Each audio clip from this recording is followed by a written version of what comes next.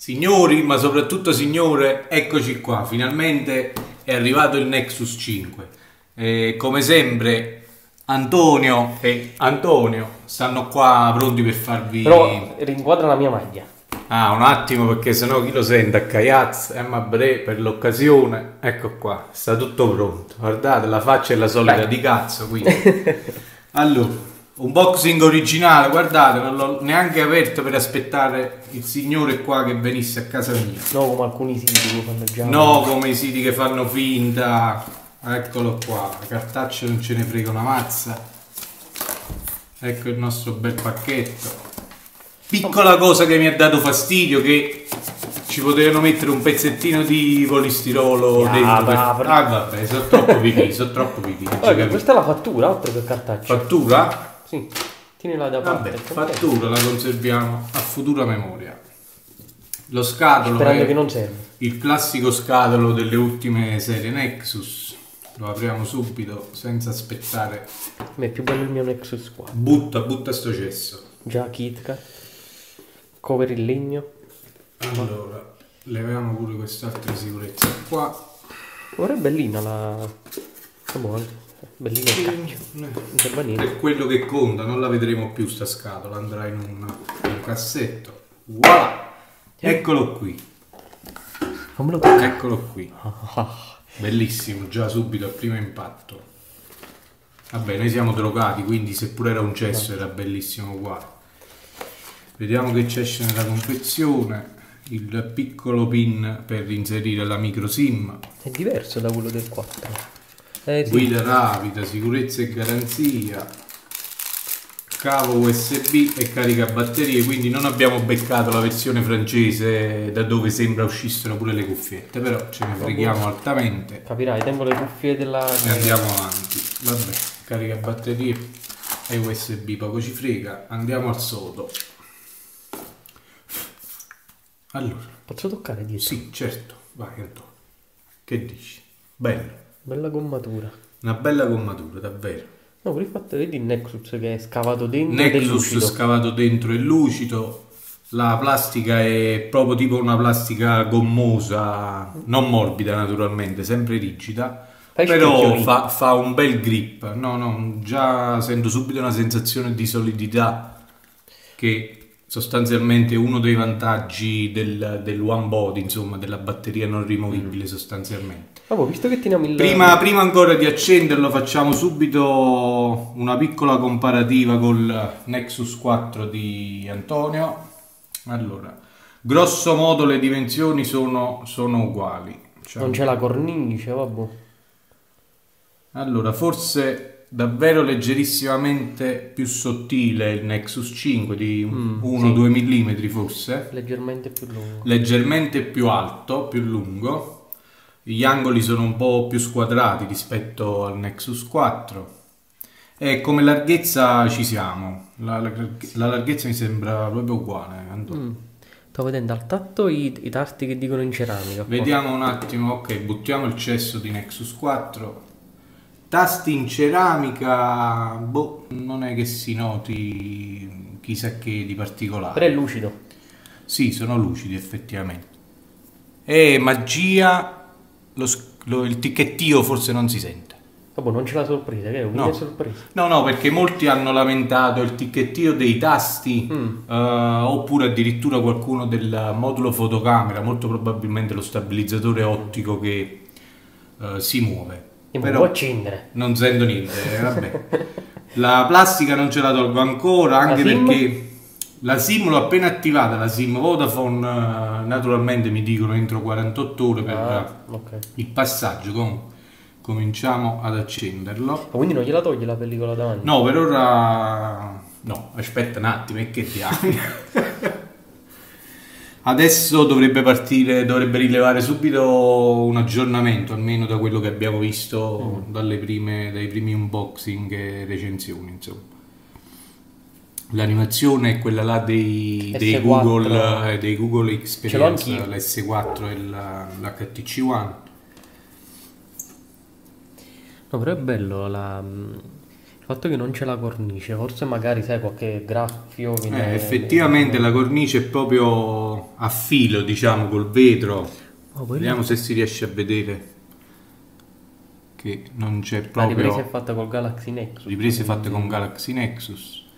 Eh, il vetro è proprio a filo con la cornice, eh, sicuramente esteticamente più, più bello, insomma, anche funzionalmente forse per fare gli swipe. Però l'unica cosa, swipe... l'unica cosa è che quel millimetro di bordo che sporge dal vetro molte volte salva il display in caso di caduta. No, invece quello del Nexus 4 qua è curvo, quindi è curvo che è ancora più facile per fare gli, gli slide. Allora, naturalmente non rileva la lingua non essendoci la SIM.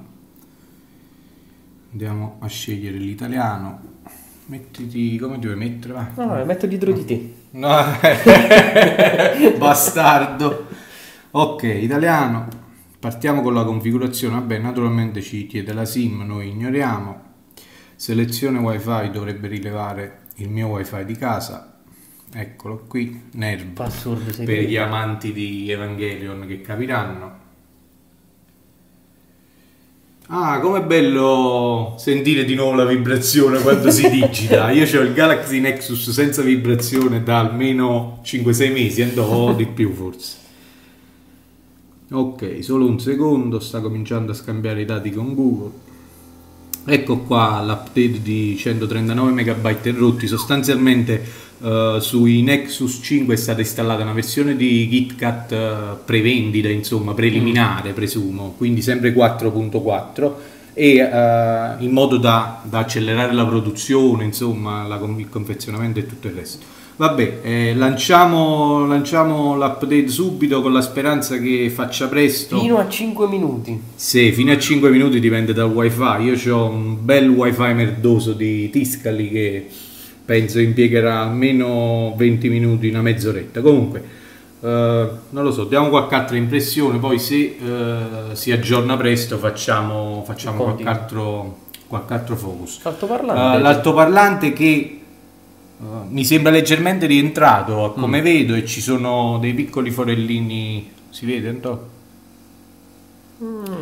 vabbè è, diciamo è un po' diverso dallo standard. Circolare c'è una, una, piastrina con dei forellini piccolissimi è leggermente rientrato uh, nella cornice. L'unica cosa è che il fatto che è rientrato spero che non fa la fine del Nexus 4 dove si accumula eh si accumulerà un bel po' di sporcizia là dentro. Vabbè speriamo di no speriamo di no il display eh, così a primo impatto senza vedere più di tanto non mi sembra male, mi sembra un bel display. Io che sostanzialmente sono terrorizzato dai display LCD perché sono un amante de degli AMOLED, eh, però non mi sembra malaccio. Naturalmente faremo delle verifiche più accurate confrontando sia col Nexus 4 e se riusciamo pure col Galaxy Nexus anche se c'ha ormai un display che è andato Ah, il, il, vetro qua sembra che è C'è una pellicola, sì, no, eh, sì. Dico, la, la, fotocamera è leggermente sporgente, infatti una delle mie preoccupazioni era che dondolasse appoggiato a una superficie. Vediamo un attimo.